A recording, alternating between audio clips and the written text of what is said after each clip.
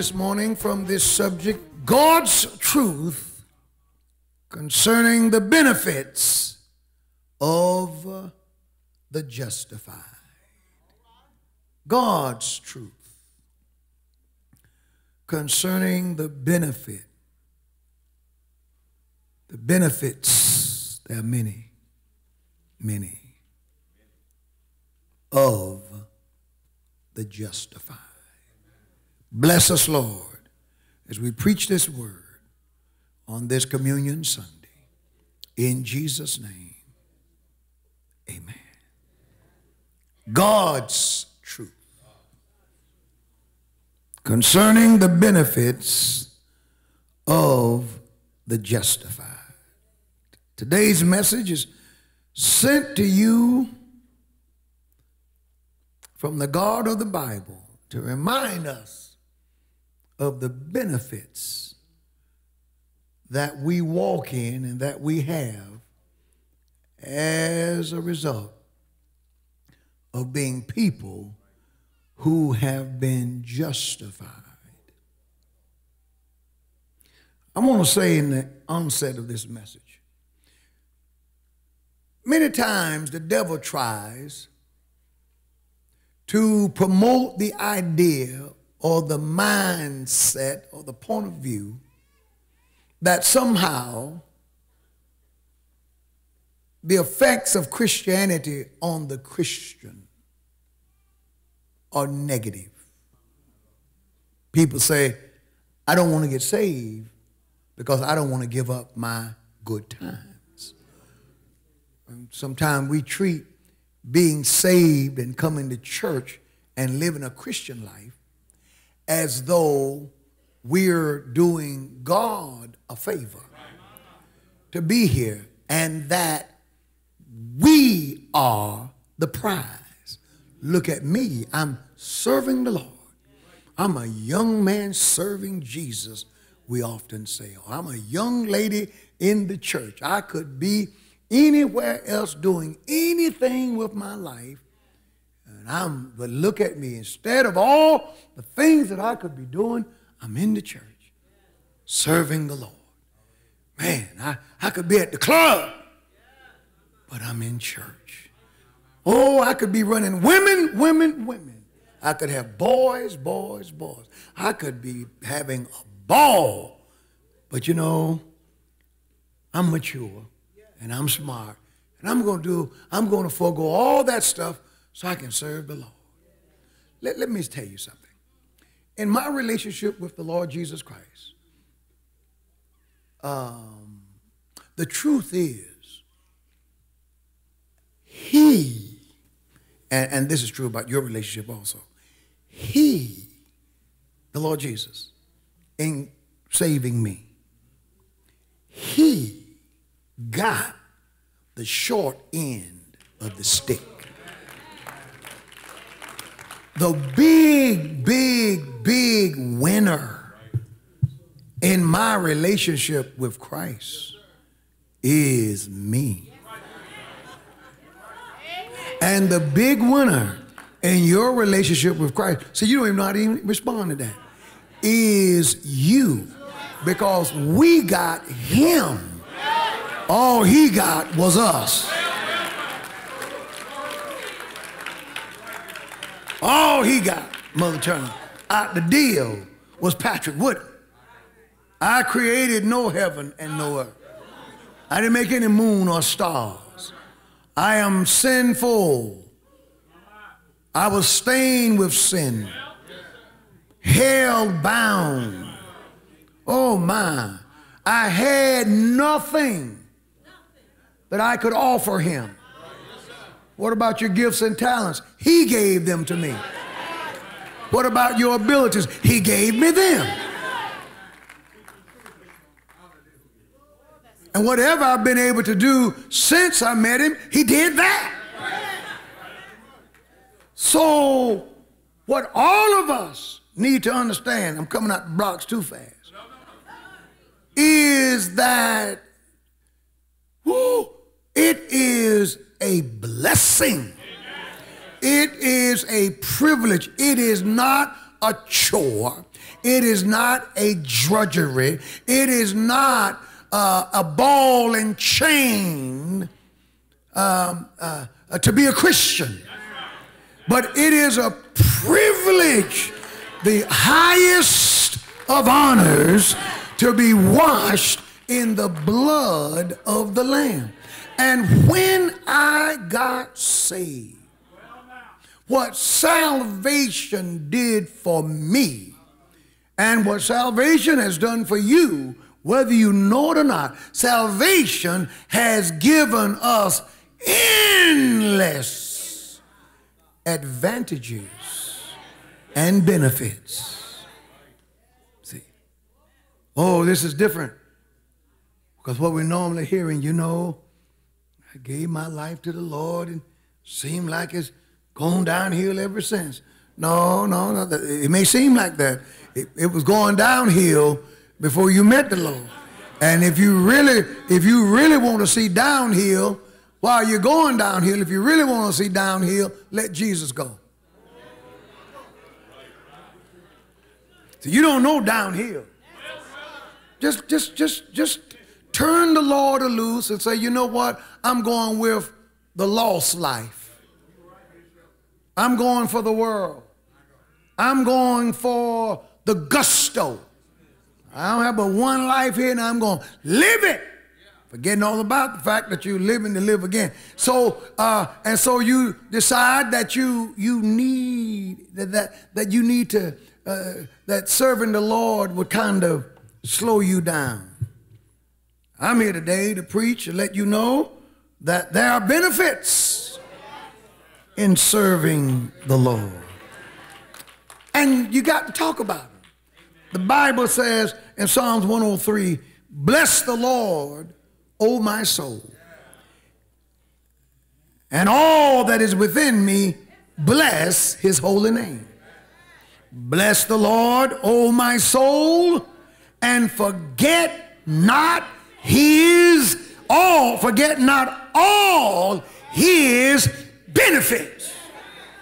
See, if the benefits, if the devil can just get you to forget the benefits, he may get you to give up too soon. Most people who backslide, they're, they're one day away from their breakthrough. They had, had, had Aaron just held up for just one more day, eh, it was day 39. If he just would have been a leader for one more day, Moses would have returned with the Ten Commandments. And the blessings of God would have been on them. But the leader caved. Bible says, says for, uh, bless the Lord, O my soul, and with all, all that's within me, bless his holy name. Bless the Lord, O my soul, and forget not all his benefits, that is, all his advantages. Who, number one, forgiveth all thine iniquities, who healeth all thy diseases, who redeemed thy life from destruction, who crowneth thee with loving kindness and tender mercy, who satisfied thy mouth with good things gives you good food to eat so that your health, your youth is renewed like the eagles. The Lord executeth righteousness and judgment for all that are oppressed. He made known his ways unto Moses and his acts to the children of men. The Bible says the Lord is merciful and gracious. Thank you, Lord. Slow to anger. Thank you, Lord. And look at this plenteous in mercy. What a mighty God we serve. Verse 12 says, as far, well, let me read verse 10. It says, He have not dealt with us after our sins. Everybody sitting in here ought to thank God for that. Everybody in here ought to thank God for that. Because there's not a person in here who don't thank God uh, that they got away. That not everybody knows. The most pious, holy person in here who is not a three year old has something. A chapter, a paragraph, maybe you forgot, but somebody remembers something that you wouldn't want known publicly. Something that God could have condemned you to hell for. Something that we could be lost for. And the Lord says, I'm not going to deal with you. What you talking about? According to your sins, nor rewarded us according to our iniquities. That's why when you ask a person how you doing, the proper answer from everybody ought to be better than I should. Better than I deserve. Because he has not dealt with us according to our iniquities. Somebody asked me one time, says, uh, what about all this weather, these storms and things? What do you think about all these storms? I answer, I said, I'm surprised we don't have we don't have them every day. As wicked as man is, as wicked as we're having a hundred year storm that they're, they're, occurring with greater frequency now. Well, the Bible said that would happen, number one, but it, it, it's kind of God to let it take a hundred years. Because most of the time between the 100, the, the in, in the 100 years, uh, look at how people lie, cheat, steal, backslide, won't go to church, won't serve the Lord. Man does what he wants. And then the Lord sends something. And he gets people's attention. Amen. Look at this. For as high, for as the heavens is high above the earth, so great is his mercy toward them. Thank you, Lord, that fear him. As far as the east is from the west, so far hath he removed our transgressions from us. Like as a father pitieth his children, so the Lord pitieth them that fear him. What a mighty God we serve. Let me preach to you a few minutes. I want to talk to you about uh, just a few things. I, I, want to talk to you about um, justification and what it means. And talk to you about how we are justified and who the justifier is. Then lastly, we're going to close with the benefits of justification. Then we're going home. The prophet Isaiah said this about Jesus Christ. He referred, Christ is referred to here in this particular passage of scripture that I'm going to call you to as God's righteous servant. Isaiah chapter 53 and verse 11 speaks of Christ. He says, He shall see the travail of his soul and shall be satisfied.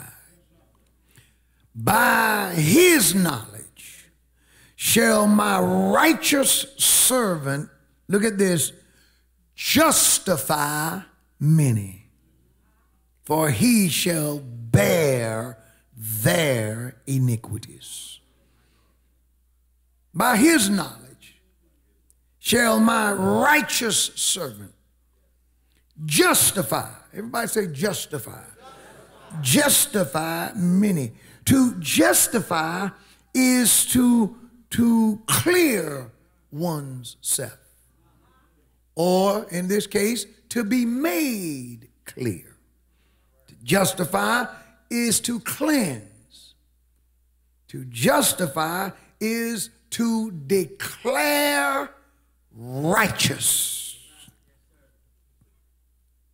It is to make righteous. Everybody say justify. Our justification as believers is the result that is assured by Christ's resurrection. There could be no justification. It'll get clearer in just a moment. If Christ would have remained in the tomb, we wouldn't be justified if Jesus would have stayed dead. See, this justification deals with the Lord taking our place, deals with the expiation of our sins. To expiate is when you expiate, you, you pay the price. You, you, you, you settle the differences. You make an amends to expiate. If, if I'm out of something and uh, Brother Amanchuku expiates on behalf of the person who took what I wanted, that means he did what was necessary to satisfy me. So therefore, that individual is no longer in my crosshairs. Matter of fact, his, his act uh, brought peace between me and the individual who had crossed me. Jesus is the expiator. He did something to bring peace between the Lord and us. Are you following me? Praise the Lord. The Apostle Paul said this in Galatians 3 and 8. He says, And the scriptures, foreseeing that God would justify the heathen through faith, preached before the gospel unto Abraham, saying, In thee shall all nations be blessed.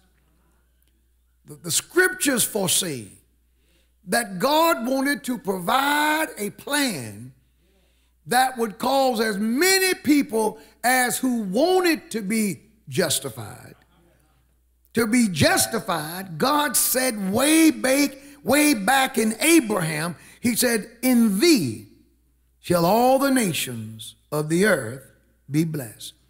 The scripture that Paul was referencing here is Genesis chapter 12 and verse 3. God says, I will bless them that bless thee, and I will curse him that curseth thee.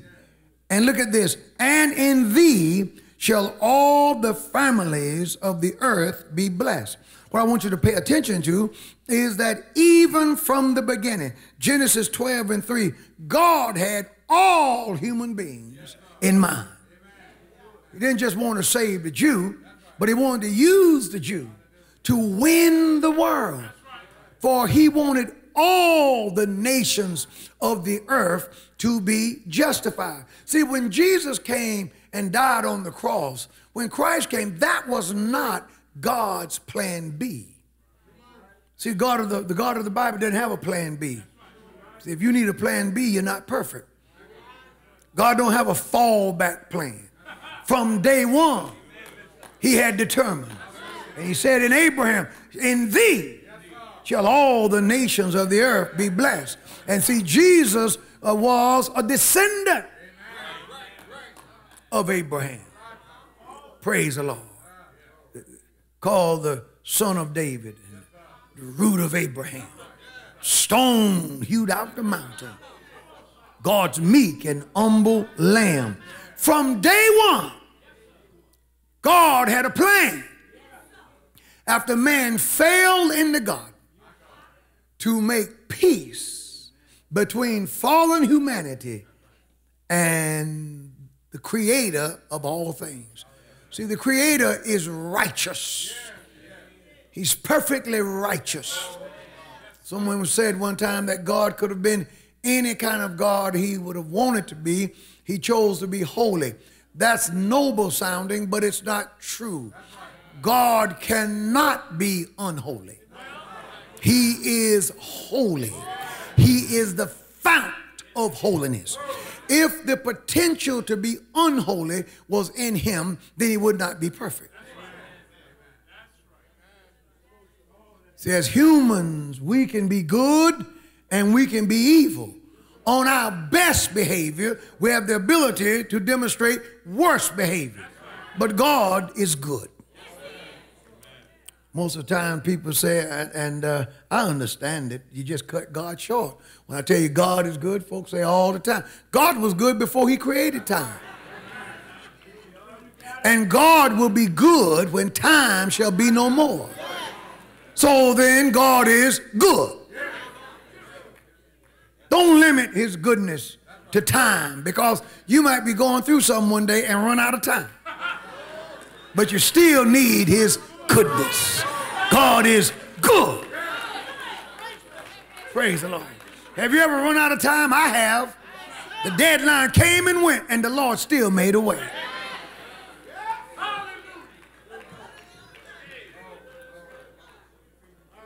God is good. Are you following me? Justification then is innocence based, our innocence our being made clean, our being made uh, clear, our being declared righteousness based on what Christ did on the cross. And God subsequently raising Jesus from the dead. Oh, this won't set well with a lot of holiness folk, but we're not justified because of what we did. Somebody said, I got saved and, and, I gave up this, I gave up that, I quit doing this, that, and the other. That's how I know I'm saved. No, you're justified because of what Jesus did on the cross. Amen. Now, now once you get justified, once you once you get declared righteous, once you get stamped righteous, now you want to live like who you are. You want to, you want to, you want to, if God have declared you righteous, you you, you want to be righteous. You don't want to be confused like these people. Man walking around calling himself a woman. Woman calling herself a man. Calling themselves trans this and trans that. Their minds are messed up. You ought, you ought to want to be who and what God made you. The Lord justified us. Say amen.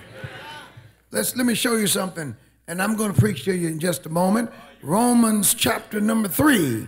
And I want to begin reading uh, at the 19th verse. Let's see what the Bible says here. It says, Now we know that what things soever the law saith, it saith to them that are under the law. The law of Moses, the law was given mainly to the Jewish race. The Gentiles of the world had not heard the law, had not received the law, and unless they came in contact with a Jew, they didn't know that the law existed. So the law, uh, what, what things soever the law saith, it saith to them that were under, that are under the law that every mouth may be stopped. Now, watch this though, and all the world become guilty before God. The law was given to demonstrate the sinfulness of the human race, and it was designed to silence all mankind under conviction. See, this is why you can't do away with the, the, the do's and the, and the don'ts and the thou shalts and the thou shalt nots. See, the world today wants to, want to, you know, cause us to adopt a way of thinking to where we think nothing is sin. But the law, the Bible shows us that there are certain behaviors that are sinful. And you be, be careful how you replace uh, biblical terms with worldly terms. We were talking, I was talking to someone last night and they were talking about a preacher and some wicked things that were going on. And the person said, This person is crazy. This is all craziness. I said, No, he's not crazy. He's not crazy. That's not what the Bible called it. The Bible called it sin. The Bible calls it wickedness. Not crazy, wickedness. See, we're, we're replacing terms, we're putting terms where they shouldn't be. The new standard now is okay. Well, I'm okay with this. And I think it's okay to do this. I think it's okay to do that. The question is, is it right? In the eyes of the Lord. Is it biblical? Does the Bible support it? What does okay mean? That's too benign. You can't you can't put a finger on that. I, well, I think it's okay if a person can a person can can date who marry love who they love, do what they want to do, smoke marijuana, uh, drink whatever they want to drink. That's okay with me. It may be okay with you, but the question is, is it right in the eyes of the Lord? That brings you back. Well, I love somebody, I'm in love with somebody I'm not married to, and I'm okay with that. Well, does the Bible say that those affections are right? You all not saying anything to me. The question is, is it right with God? Not, not okay. What does okay mean?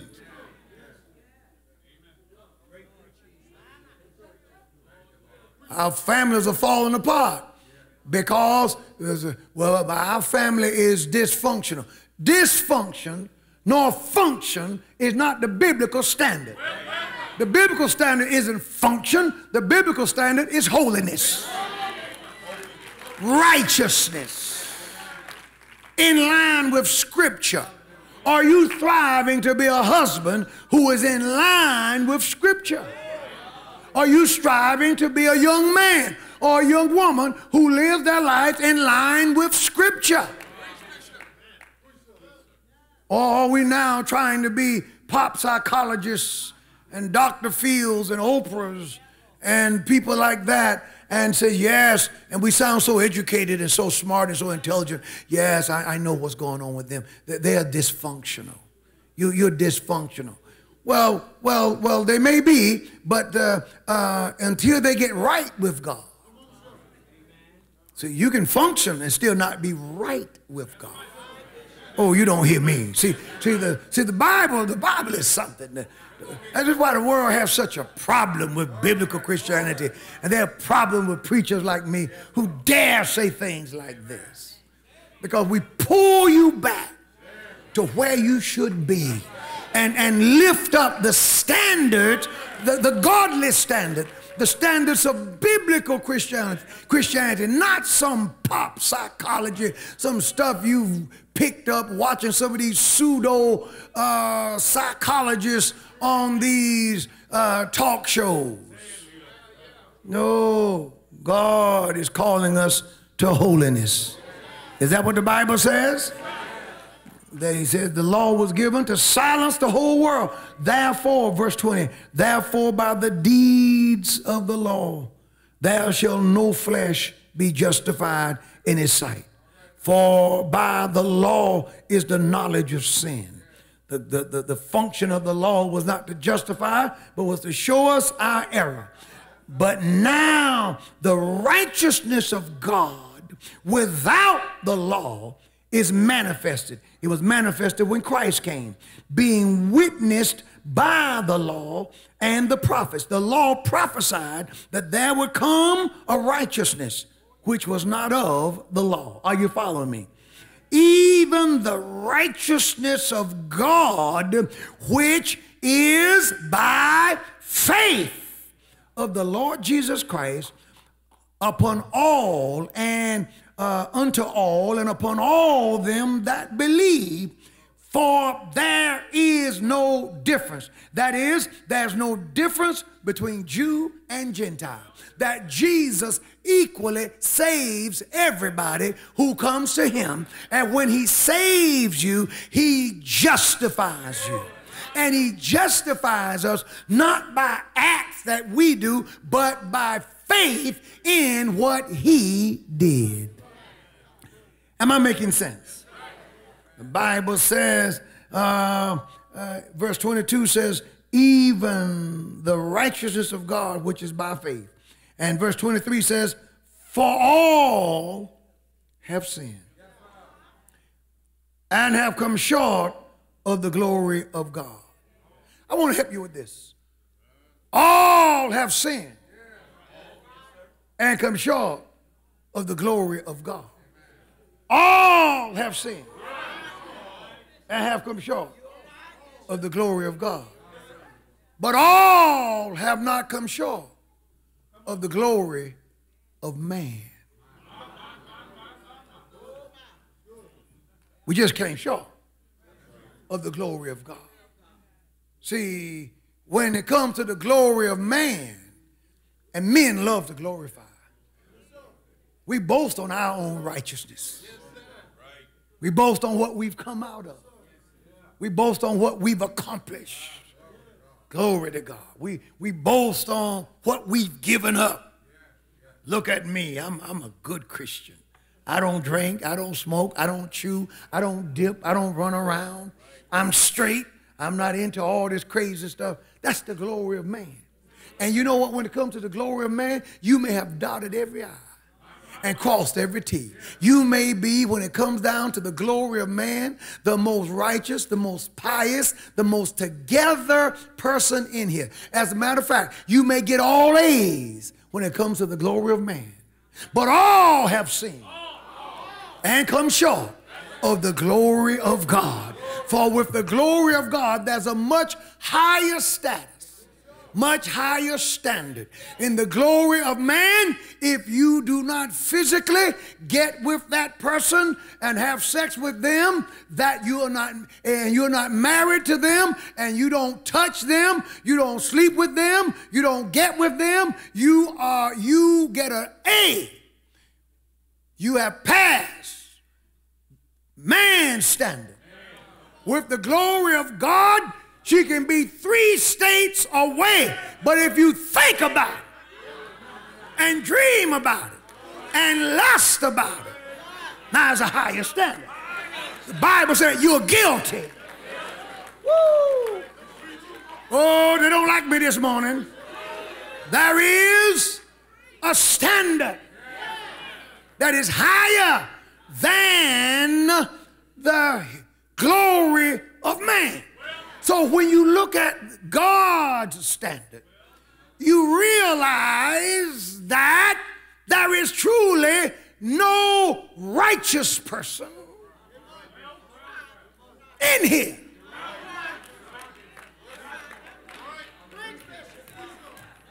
There's nobody in here who don't need Jesus, who don't need to be saved, who don't need to be washed in the blood of the Lamb. And there's no one saved person in here who have been able to live up to the glory of God.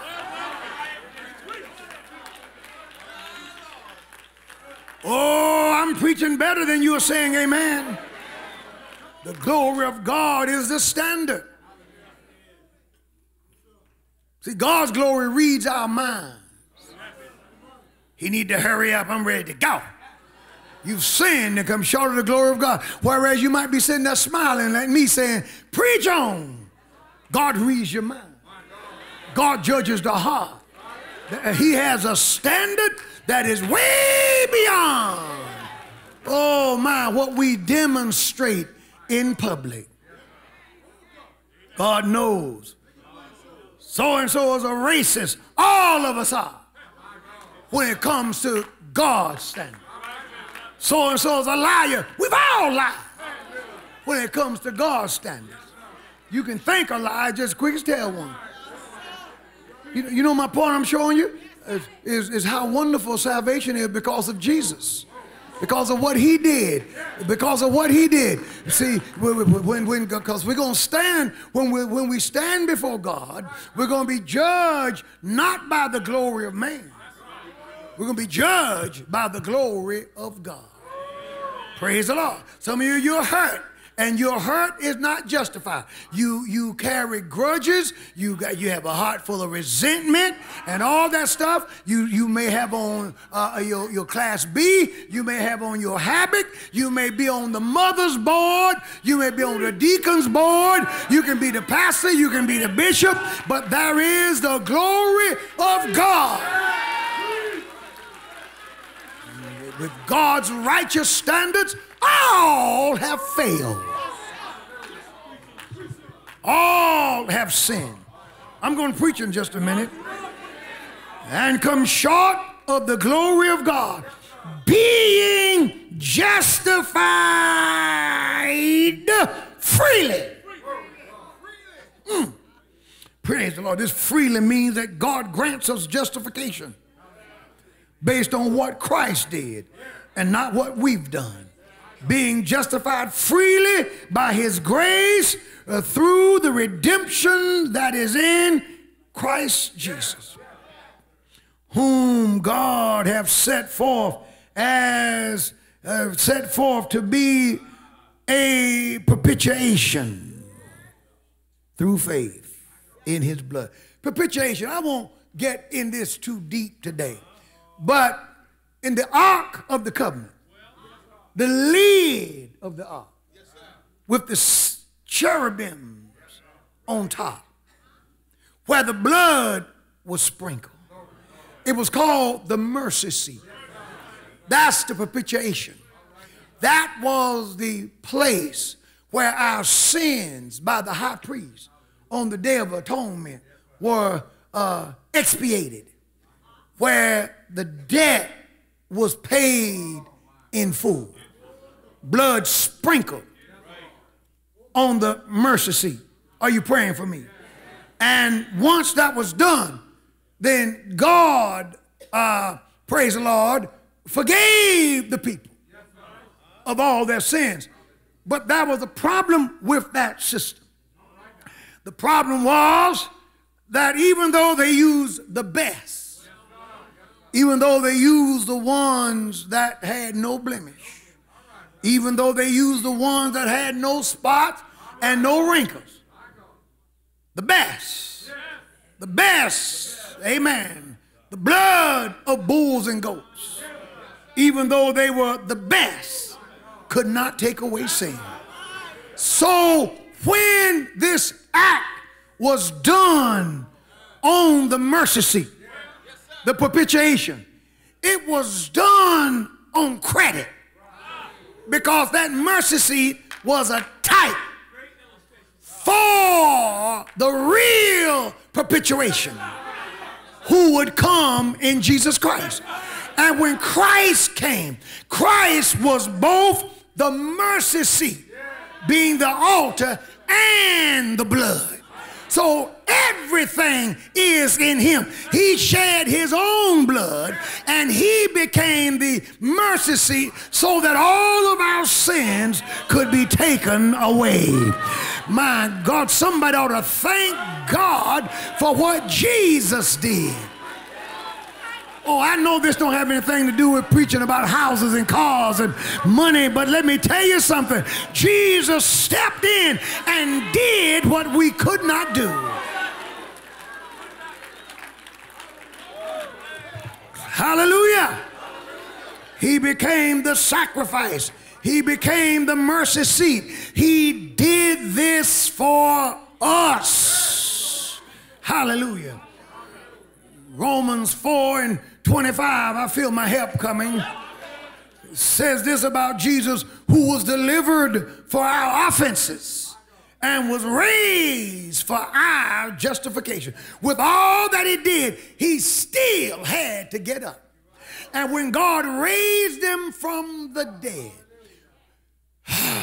that settled it. And every time a person comes to Jesus Christ to give their heart to the Lord to be saved, the Father looks on what Jesus did. And what Jesus did on the cross 2,020 years ago, and the Father raising him from the dead, still, praise the Lord, covers all our sins and it still keeps the Father satisfied. No matter how lost you may be, no matter how sinful you may be, your sin was not as ugly as Christ's propitiation was beautiful and satisfying to the mind of God. This is why Jesus is our hero, our Savior. He's the one who deserves all the praise. Well, I'm a mother in the church. I'm a bishop in the church. I'm the pastor of the church. Thank God, but you wouldn't be anything had Christ not come and became the propitiation, the mercy seat, and the blood. My God, today, He did it for us. And then not only does He save us on the outside, but He cleanses us on the inside so that a man don't have to think those thoughts that are beneath the glory of God. We serve a God who will clean up your mind. He cleans us from the inside out where we can think pure thoughts and live holy and thank God that we're saved. I want to hear the praises of the justified. Hallelujah. Thank you. So the question is, who are justified? And who is the justifier? We are justified. How? How did we get justified? How do you do it, preacher? What do I have to do? What do I have to do? The Bible tells us in Romans 5 and 1, therefore, being justified by faith. Woo! Woo! It is so simple that it's hard. And you know why God made it so easy? He wanted to take uh, human boasting out of it. Y'all don't hear me. He wanted to fix it where we got to give all of the praise to Jesus Christ. Back in chapter 3, verse 25, it said, Whom God hath raised, whom God hath set forth to be a propitiation through faith in his blood to declare his righteousness for the remission of sins that are past, that is, uh, in our past, through the forbearance of God. God put up with a system. He put up with a system waiting for Jesus to come and to be the real sacrifice. To declare, I say, Paul says, at this time, at this present time, his righteousness, that he might be just and the justifier of him which believe in Jesus. So since God is just and Jesus is the justifier of those of us who believe in Jesus, then verse 27 says, Where then, where is boasting then? Uh, it is excluded. Other words, you can't brag off uh, yourself for being saved. You can't boast that I'm this and I'm that and I'm the other. No, no, no. Where is the boasting? The truth is, we we boast in Him and we thank Him for saving us and thank Him for doing what we could not do. Where is the boasting? It is excluded uh, by what law of works? Nay, but by the law of faith. I'm saved because I believed on Jesus. Therefore, we conclude that a man is justified by faith without the deeds of the law. Is he the God of the Jews only? No. Is he all is he not also of the Gentiles? Yes. Of the Gentiles also. And by the way, there are two groups of people. There are two races on this earth in the eyes of God. Jews and everybody else. Gentiles. Regardless of what color you may be. Seeing then it is one God, which shall justify the circumcision by faith, the Jews got to get saved. They called the circumcision. They got to get saved by faith also. And the uncircumcised, the Gentiles, everybody else, through faith in Jesus. Since we all got to be circumcised, and uh, I mean, we all got to be saved through Jesus, he says, uh, Do we then make void the law through faith? God forbid.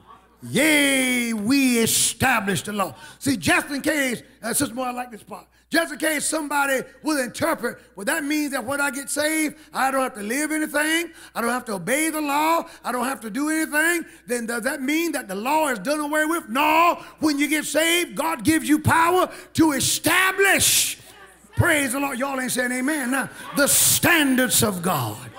Hallelujah. So uh, when you get saved, God gives you the ability to live right and to walk upright for real then. So let me let me try to untangle this rather complicated Sunday morning message. Uh, praise the Lord, where I can't hardly get an amen. He says, therefore, being justified through faith. I'm preaching about the benefits. Benefit number one, we have peace with God. Good God Almighty. Irene, that is, I'm not at war with God. God's not at war with me. I want you to let that sink in. If you're saved today, you have peace with God. Some, some manuscripts read, let us grasp the fact that we have peace with God. You need to realize that you have peace with God. You are at peace. God's at peace with you. See, you don't want the maker of everything to be upset with you. You don't want the one who keeps the sun in the sky, keeps the stars twinkling, keeps every planet in orbit upset with you. Amen. I, I like having friends in high places. And it's wonderful to be at peace with God. A settled peace. A fact of peace. It's peace because of what Christ did. Even when I mess up, he don't get mad with me. I feel bad about it and thank God that he comes and sets me free. But he I'm glad that since I've been justified, I've had peace with him ever sense. What a wonderful thing to know that we are at peace with God that God is not angry with us. Those who are sanctified, we have freedom in His presence at all times. We don't have to be afraid to pray. Don't have to be afraid to call on his name. And it doesn't matter who leaves you. Doesn't matter who walk out on you. Doesn't matter who dies. You still have peace with God and you can still turn to him. And when you turn to him, he won't turn away from you. I'm glad that every time I call him, he hears my cry. I'm glad that I can steal away and get in his arms and feel him wrap me in his arms. I got a question for you, but you got to be honest to answer this one.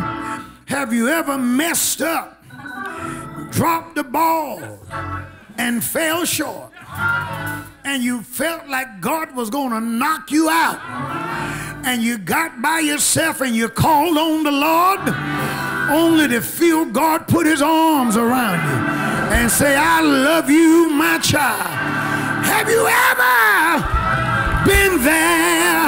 If you have, you ought to tell God, thank you. We have peace with God. And not only do we have peace with God, but benefit number two, we have access by faith. Notice what it says we have peace with God through our Lord Jesus Christ, by whom we have access. Access is something wonderful. Access is something that you need to know that you have. Access is the right granted to someone by some high official, by some monarch. It is the scepter of a king being pointed at you, saying that you have a right to come into my presence and you have a right to make your requests in biblical days, if you went before the king and he didn't stretch out his scepter and you started to talk before he gave you the scepter, they would kill you dead because you were out of order and you didn't have a right to say anything. But I'm glad that because of Jesus, I can call him when I need him. Father, Father, up in heaven. I can go to God in prayer. I can go to God in prayer. Somebody tell him thank you. Access means that you've been introduced to the Father by the Lord Jesus Christ. It means every time, hallelujah, it means every time I hear, God hears my voice. Jesus says to the Father, He is right. You can, you can, you can answer his prayer. You can uh, uh, consider his requests because he belongs to me. Jesus is the go between. Jesus is our mediator. Have anybody in here had a prayer answered lately? Have the Lord heard your prayer? Have the Lord come through for you? Well, that's because God has given us access. Because we've accepted Jesus, we have authority with God the Father. Would you praise the Lord for the access? What do we have access in? We have access into His grace. Now, I just want to say to the saints no more walking in uh, and out, either in or out. Because we're having church in here. And uh, and for those who are streaming, I'm not talking about everybody. And those who are in, they know what I'm talking about. You ain't going in and out. That's that. Praise the Lord. That's that. It, it throws me off. And I'm trying to preach to you so you can get healed today. There's an order in God's house. Now, I have power to cast the devil out.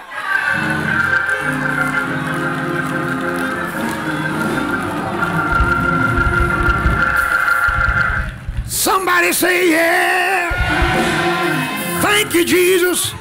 So now let me get back to this. We have access into His grace. What is His grace? We have access, somebody ought to shout on this, into God's favor. Access into God's kindness. Access into God's love. Access into God's power. By grace are we saved. Good God Almighty, Lord told me right here, just speak favor. Favor, favor, favor, favor. You have access into God's favor. Benefit number four, wherein we stand. I want somebody to determine today that you can make your stand in Jesus Christ because he is he's our rock he's our keeper he's our strength. The winds of life they can blow but we make our stand in Jesus Christ. The devil can try to knock us down and somebody's going through the day but I'm here to tell you stand your ground God's favor is on the way. Stand your ground. God's blessings on the way. You just got to wait on him. Just believe on him because joy is around the corner. Thank you, Jesus.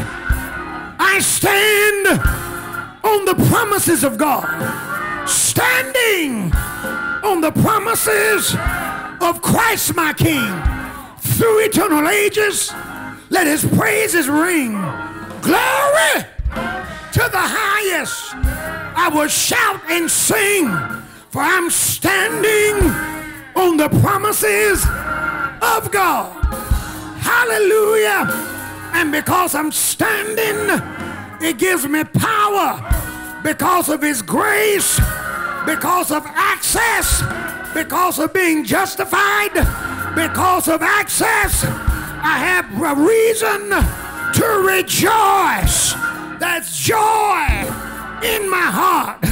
For benefit, number five is we rejoice in the glory of God. What is the glory of God? The glory is that one day we're going to see Jesus in peace. One day Jesus is coming back. One day he's going to appear and we're going to see him as he is. Hallelujah. One day. World. Goodbye world. And hello oh, Jesus. One day we're going to meet our loved ones in the middle of the air. And so shall we ever be with the Lord. One day the Lord is coming back. The Lord.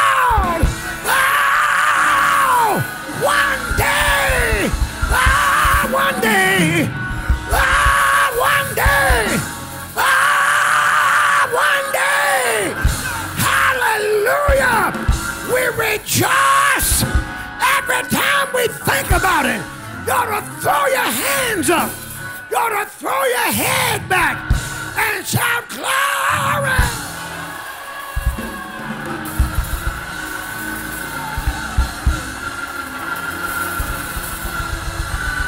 Rejoice in the glory of God. Woo! In his glory. In his glory. In his honor. We rejoice. Because we know that Jesus is coming again. But that ain't all. I'm almost done. And that ain't all we rejoice in. And that's not all we rejoice in. But there's another benefit. We glory in tribulation. Do I have anybody here who's going through some things? Hallelujah. Look at this Christianity.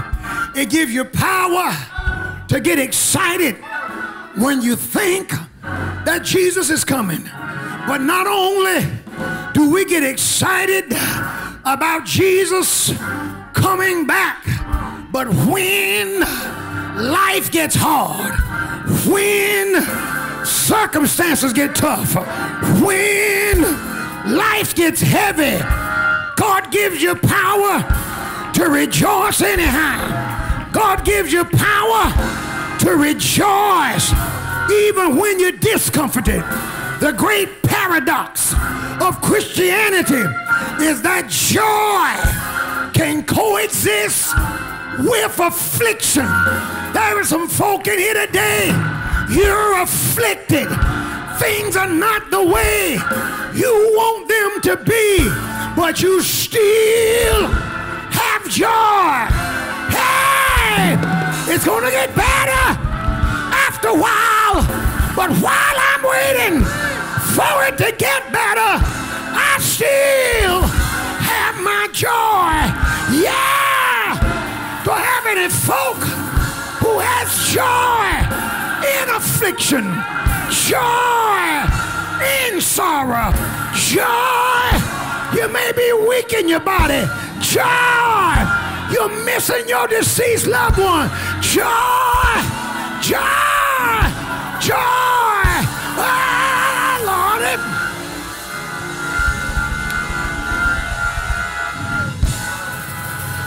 I just want to hear those who are going through afflictions praise the Lord. If everything is right for you, you can sit this one out. But if there's some affliction, if there's some discomfort, woo! Glory in tribulation. Glory in tribulation. Glory! Ah, glory! Ah, ah. It doesn't matter who you who you are. No believer is justified when the joy break out. No believer is justified to not give God praise at all.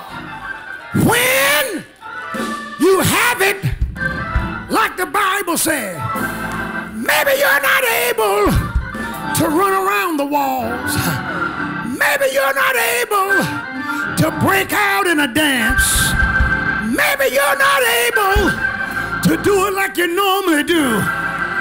But if you can't say a word, you're still able to just wave your hands.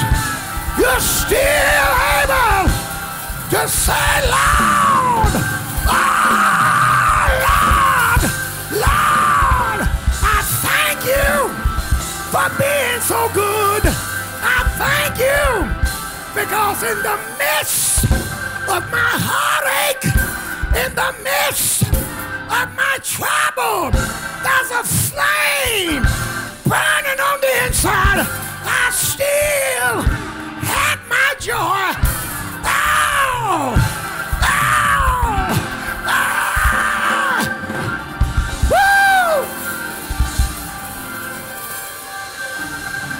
Woo! You ought to shake three people's hand and tell them, I still have joy.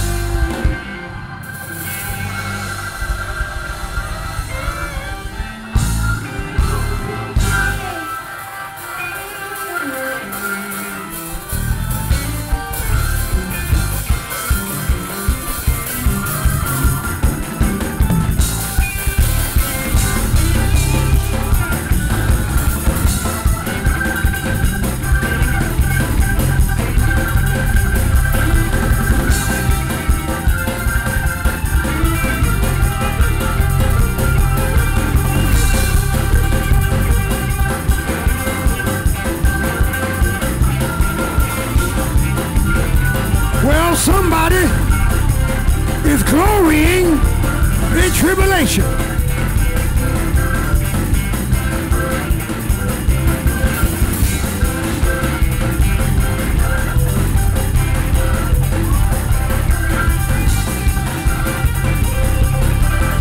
Glory to God. Glory to God.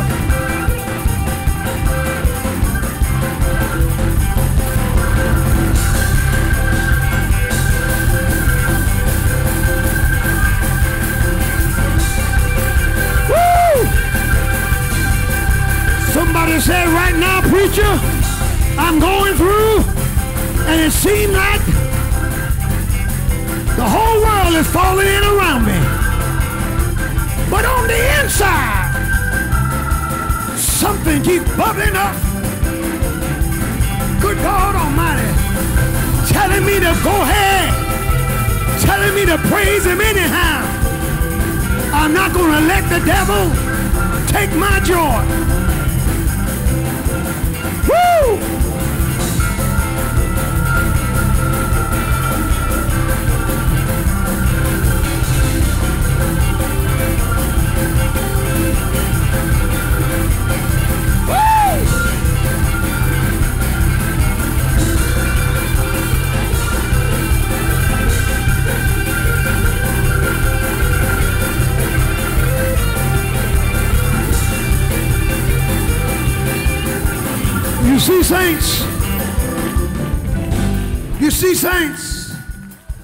Opposite of joy is sin, not suffering.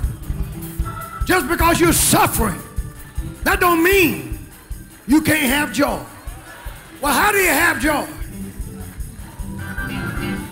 See, joy, joy, joy, joy, joy, joy, joy, joy, joy doesn't come from how you feel.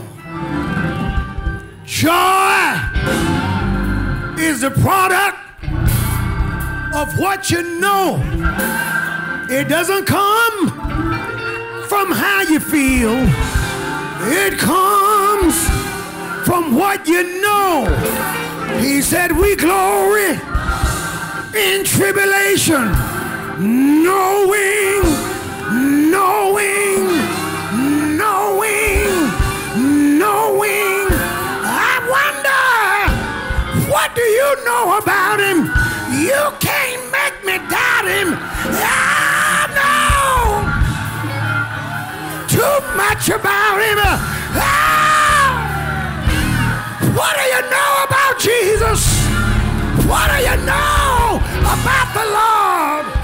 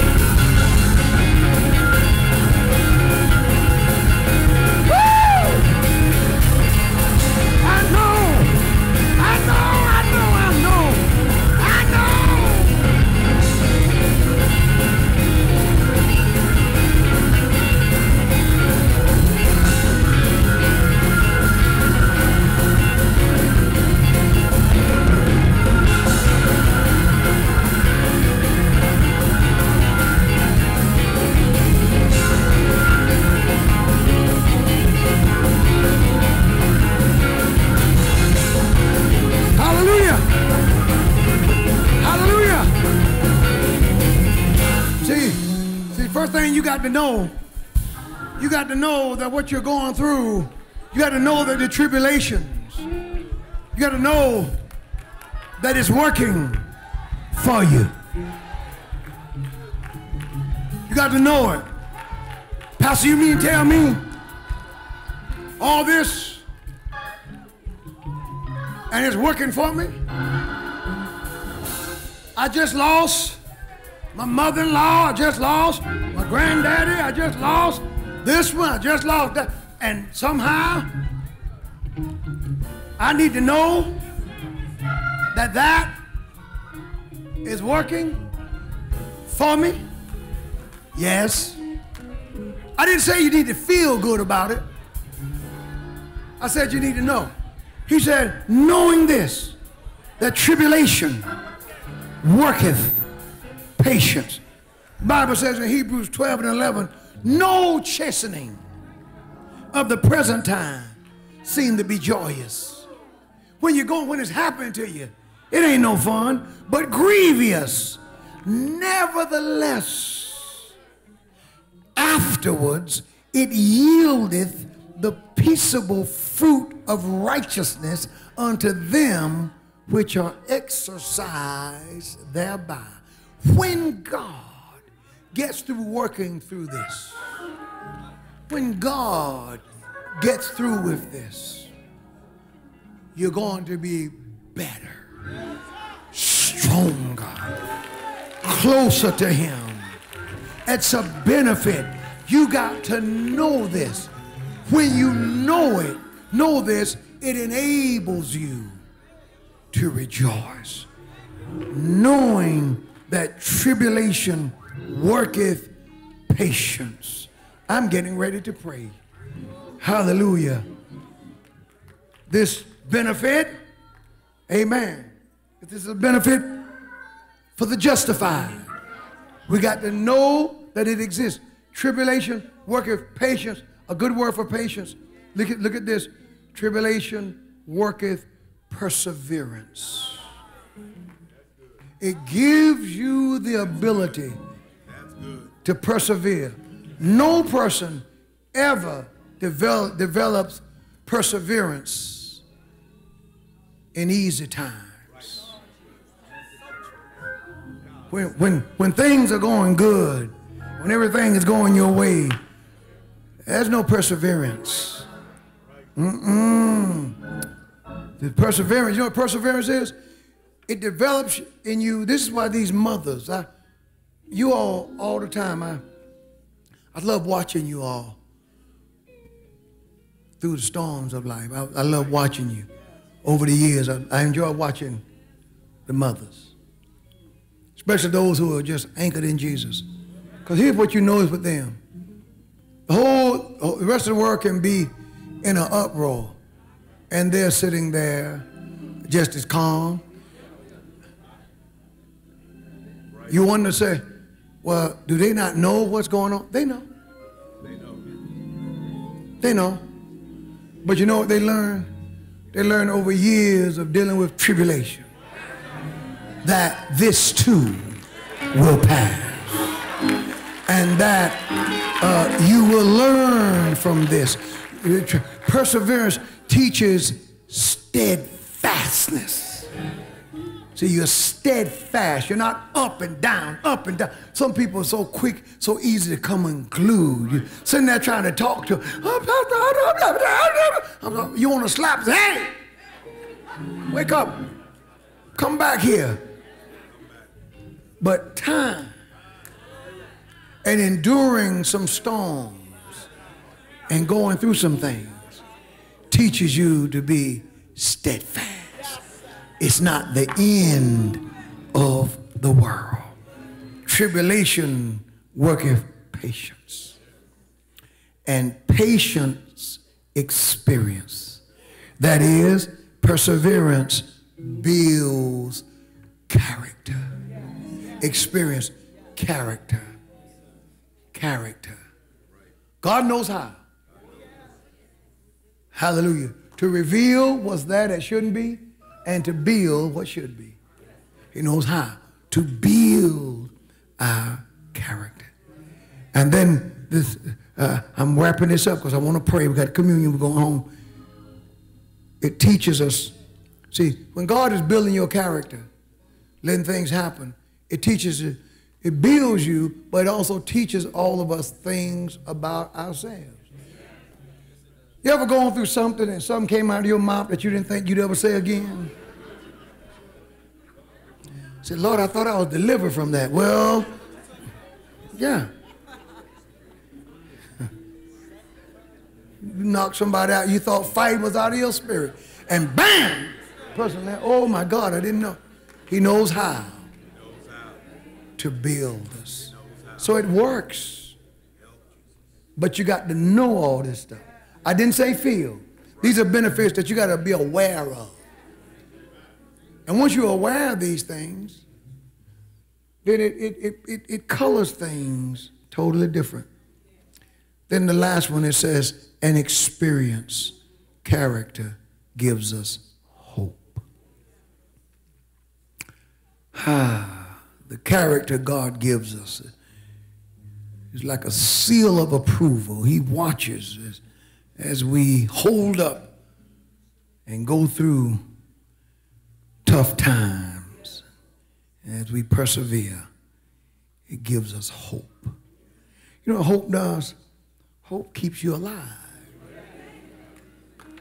It says a hope, hope in Christ, hope for a better day, hope, hope doesn't, notice where it says, hope maketh not ashamed. That is, hope doesn't disappoint.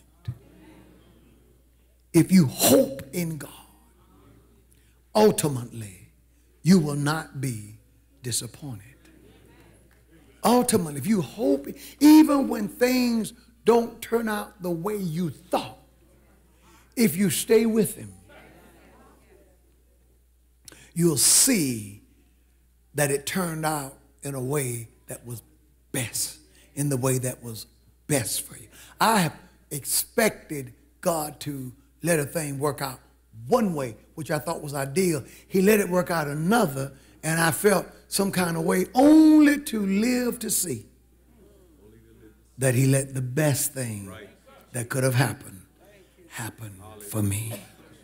He knows what he's doing. And look at this, look at this. When you put your hope in the Lord, the missionaries are getting ready, when you put your hope in the Lord, notice what it says. And hope make him not ashamed.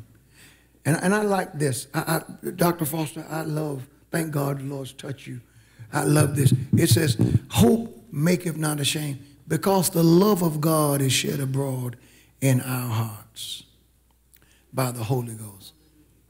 This love of God, there is a lot of discussion in the theological community as to whether it is God's love for us or our love for Him. You know what it is? When you hope in the Lord and you see the Lord move and you see how God's work works, it gets you to the point where the love of God gets shed abroad. That is, your love for God. Praise the Lord. Your love for God.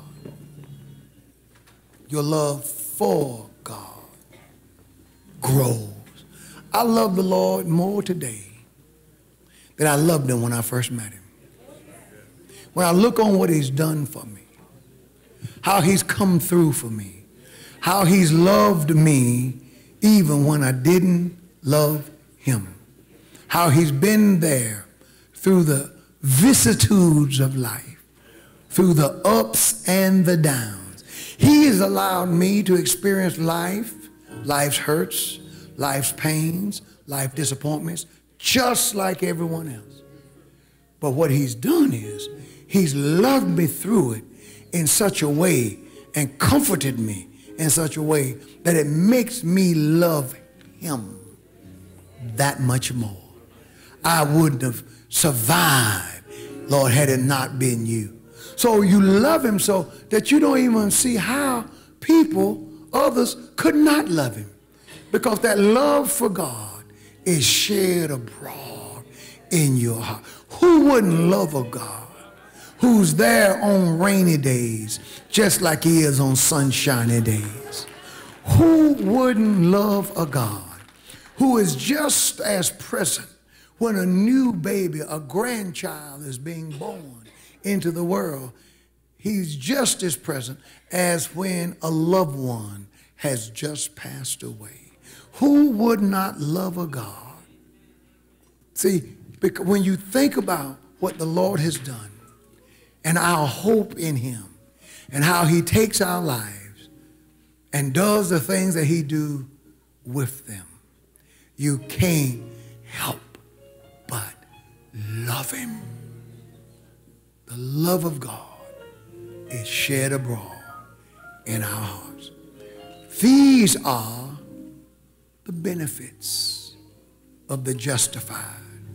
And there are many, many more. You better know that Christ is with you. You need to know that you have access to him. When I asked you all to be ready, uh, Sister Mose, y'all getting ahead of me now. Too much moving. Y'all get in one place and stop. Y'all go ahead. Finish. I didn't expect all this. I, I started seeing all this moving around. I said, Lord, because I don't, yeah, stop. I haven't read the uh, communion scriptures yet. I said, get ready. I say commence. They started passing out communion. Wait. Amen. You don't do that. Amen. Ain't no harm is meant, but wait a minute. Because I need to pray before y'all get this communion.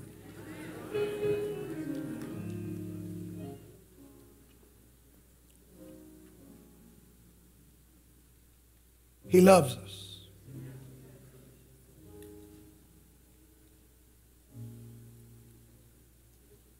He loves you. He loves me. He's working through life's experiences. Don't get bitter with him. Mm-mm. Just know that your tribulation is working on your behalf. And the trait that comes out of that will create another one, and so forth and so on. I love him because he first loved me. I believe that love is talking about our love for God because verse 6 then begins to tell us about his love for us. For when we were yet without strength, in due time, Christ died for us. For scarcely for a righteous man will one die. Yet peradventure, for a good man, some would even dare to die. But God commended his love toward us in that while we were yet sinners, Christ died for us. Don't you love him? I'm not saved because I have to be. I mean, I have to be if I'm going to go to heaven. But that's not why I'm in the church. It's not why I'm saved. I'm saved because I love the. I didn't love him when I got saved. I didn't know him. But once he came into my heart, and then I began to realize it changed everything. I developed an affection for the Lord that is unparalleled. And so have you. If the Lord have justified you, you've accepted Jesus, and you know that you're justified, lift your hands to him now. Dear Lord Jesus, great justifier, great God who've given us all of, the, all of these benefits, great Savior who have made a way, great, great.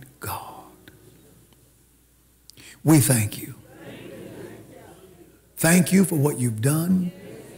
Thank you for every door that you've opened and thank you for every way that you have made. You are the justifier. We are the justified. And we thank you. We love you. And Lord, as we matriculate through this life, help us to keep in mind all of these benefits. That we have unfettered access to you, no matter where we are, what's going on, we have access into your favor wherein, wherein we stand in the name of Jesus. And we glory in your coming. Mm. But that ain't all that we glory in. We glory in tribulation, knowing that the tribulation is working on our behalf, giving us perseverance. Perseverance is giving us character. And character filling us with hope. A man can't live without hope. A man can't function without hope. And thank you for being the object of our hope. You never fail. And we thank you. Now, Lord, forgive us of our sins. Even though we're justified, stamped justified, there are yet practical areas that we need to come up in. And Father, we don't want anything to interfere with our ability to participate in the Holy Communion in the name of Jesus Christ. Now, Lord, we thank you and we praise you in Jesus' name.